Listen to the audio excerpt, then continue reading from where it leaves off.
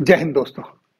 दोस्तों, आप सभी का एक बार फिर स्वागत है आपके अपने सैनिक वेलफेयर यूट्यूब चैनल में। दोस्तों, आज मैं दो मुद्दे लेकर आया हूँ आपके लिए। पहला मुद्दा आपके सामने, पेंशन भोगियों के लिए अच्छी खबर। खबर क्या है? पैंसठ वर्ष की उम्र से हर पाँच साल के बाद पाँच परसेंट बढ़ेगी आपकी पेंशन। इसके ऊपर एक खबर है। दूसरी खबर दोस्तों जो कोविड के टाइम पर 18 महीने का महँगाई भत्ता नहीं मिला है, कर्मचारियों को पेंशन भोगियों को, अब जो चुनावी दौर आ रहा है, उसमें सरकार की तरफ़ से बड़े बड़े तोहफे दिए जा रहे हैं। तो क्या वो 18 महीने का महँगाई भत्ता भी मिलेगा? इसके ऊपर। तो ये दो खबर तो पहले देखते हैं पेंशन भोगियों के लिए जो पाँच परसेंट पेंशन बढ़ने वाली बात है। पैंसठ साल के बाद, हर पाँच साल पर, उसमें क्या कहा गया है और ये खबर कहाँ से निकल कर आई है? तो दोस्तों, पहली खबर जो पेंशन भोगियों के लिए है, ये अमर उजाला में प्रकाशित हुई है। जैसा कि आप देख रहे हैं, पैंसठ वर्ष से और हर पाँच साल में पाँच परसेंट ज़्यादा पेंशन देने पर विचार करे सरकार। यानी कि पेंशन भोगियों की कुछ समस्याएँ थी। उनकी समस्याओं के ऊपर संसदीय समिति का गठन हुआ था। संसदीय समिति ने कुछ रिकमेंडेशन दिया है। और वो रिकमेंडेशन क्या है? उनकी तरफ़ से कहा गया है कि जो मौजूदा समय में 80 साल जब पेंशनर की उम्र हो जाती है, तब उसकी पेंशन में बढ़ोतरी की जाती है। उसको उनका कहना है कि अब पैंसठ साल से शुरू कर देना चाहिए। यानी कि पैंसठ साल पर पाँच परसेंट, उसके बाद पिचहत्तर साल पर फिर पाँच परसेंट इस तरह से हर पाँच साल पर पाँच पाँच परसेंट उनकी पेंशन में बढ़ोतरी होनी चाहिए।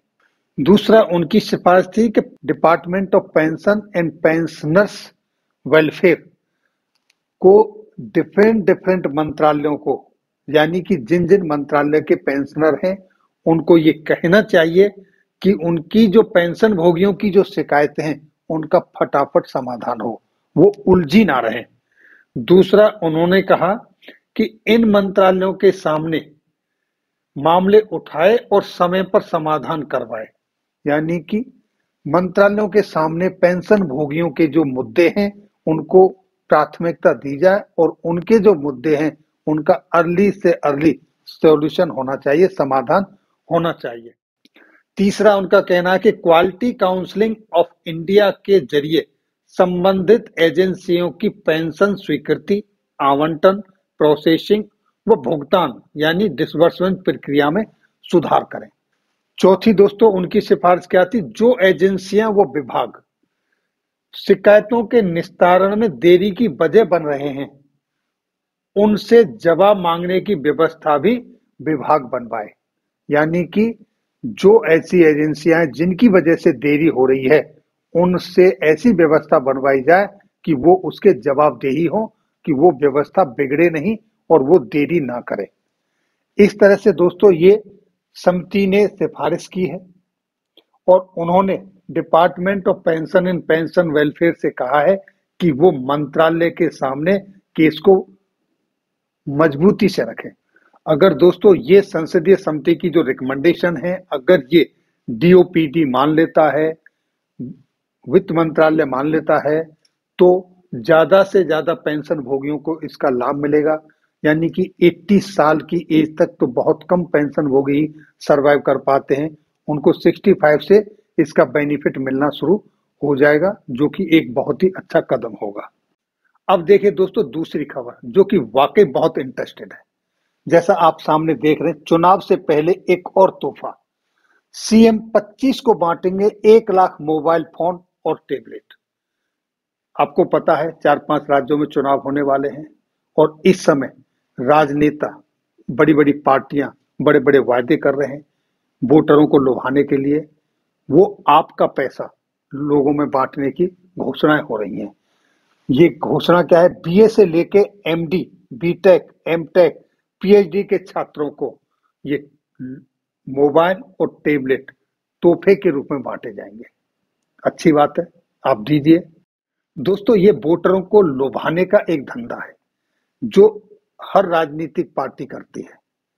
लेकिन क्या ये राजनीतिक पार्टी स्टूडेंटों से इस तरह की घोषणाएँ करके वोट लेना चाहती हैं? लेकिन जो कर्मचारी, जिनका हक है, जिनको वो मिल रहा था, महँगाई भत्ता, जो कोविड के टाइम पर 18 महीने का नहीं दिया गया, क्या उनको महँगाई भत्ता नहीं दिया जा सकता? क्या वो वोटर नहीं है? क्या वो वोट नहीं देते? तो ये सही समय है कि जितने भी यूनियनों के लीडर हैं, जितने भी सोशल मीडिया पर एक्टिव लोग हैं, उन सबको पेंशन भोगियों की, केंद्रीय कर्मचारियों की, जो एम्प्लॉय हैं, उनके महँगाई भत्ते की ये मांग इस वक्त ज़ोर तोर से उठानी चाहिए। अगर इस तरह से, देखिए दोस्तों, ये जो टेबलेट और फ़ोन बांटे जा रहे हैं, ये 2035 करोड़ रुपए इस पर खर्च होने वाले हैं। तो क्या कर्मचारियों का महँगाई भत्ता नहीं दिया जा सकता? ज़रूर दिया जा सकता है।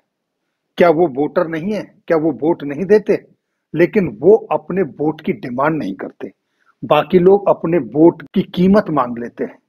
तो दोस्तों, जिस तरीके से वोट पाने के लिए लुभावने वायदे किए जा रहे हैं, उसी तरीके से जितने भी जवान हैं, केंद्रीय कर्मचारी हैं, पेंशनर्स हैं उनकी यूनियनों ने, उनके लीडरों ने, सोशल मीडिया पर जो एक्टिव हैं, उन्होंने कर्मचारियों के 18 महीने के महँगाई भत्ते की मांग भी राजनेताओं के सामने, पार्टियों के सामने रखनी चाहिए। ये सही समय है।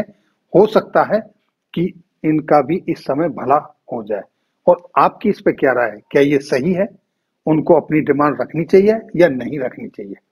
अपने कमेंट ज़रूर दें कमेंट्स बॉक्स में। तो दोस्तों, ये थी जानकारी आज की इस वीडियो में। फिर मिलेंगे किसी नई जानकारी के साथ अगली वीडियो में। तब तक के लिए दोस्तों, जय हिंद, जय भारत।